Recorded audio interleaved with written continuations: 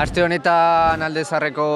gazteria eta gazte mugimendua gazte aste izan dugu eta pixka bat gaur larun bata bezala eta egun potentea bezala azken bi hiru hilabetetan egin dugun prozesuaren diagnostikoa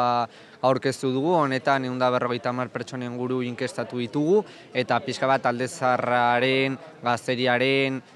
lan baldintzei e, ikuspuntu soziopolitikoaren inguruko diagnostiko bat aurkeztu egin dugu hemen gazteriarekin. Gaur aurkeztu dugu e, pixka ateratako tesi ezberdinak, hoietatik etxe bizitzarekin dagoen arazoa gazteriaren artean, bai e, alokairu bat lortzeko ezagunen bitartez izaten ari dela eta guztiak e, propietario txikien bitartez, beste alde batetik agian aixiarekin dagoen gatazka ez dagoela e, auzoko gazteri langileari bideratuta eta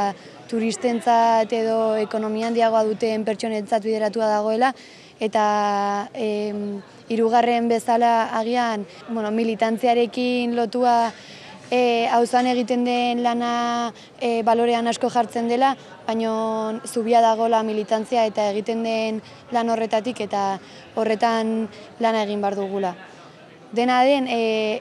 egin dugun lan guztia PDF-an eta matalazen zein auzenean eskuragai izango du edonork eta animatzen zaituztegu e, irakurtzea eta tesi eta ondorio ezberdinak e, hausnartzea. Opa,